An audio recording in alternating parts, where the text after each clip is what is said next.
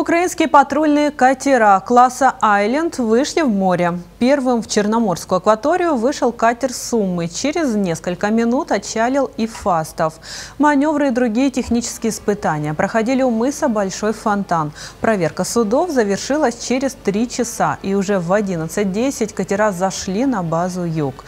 Отметим, что в Одессу из города Балтимор, США, катера прибыли на борту судна «Оушен Грант» 23 ноября.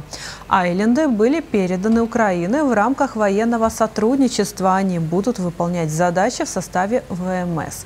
Сейчас принципы их работы отрабатывают на идентичных катерах «Славянск» и «Старобельск», переданных нашей стране два года назад.